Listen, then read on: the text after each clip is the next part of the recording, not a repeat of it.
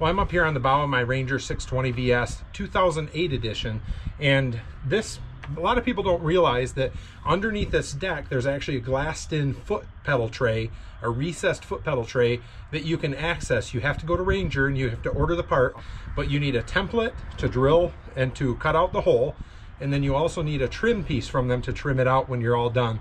But other than that, it's not a hard process to do. You just have to measure twice, cut once, and uh, put a big hole in your Ranger. But after you're done, this foot pedal will sit down in a recessed foot pedal that is all glassed in and beautiful. And uh, you'll you won't be standing like Captain Morgan up on the bow, standing on one foot, running your trolling motor. You'll be able to stand nice and level all day long. It'll be nice and good. So let's get to it. First thing we're going to do is we're going to take off all this equipment that's right here on the bow, move it out of the way so we can put down our template. We're going to cut it out. You want to have a marker to mark out the template you want to have a knife to cut out the carpet and peel that up before you start with the jigsaw and you'll want to have several jigsaw blades available to you uh, as you're cutting it out. And after that it's just a matter of pre-drilling the holes throwing in the screws and you're all set. You'll have a beautiful recessed foot pedal on an old ranger boat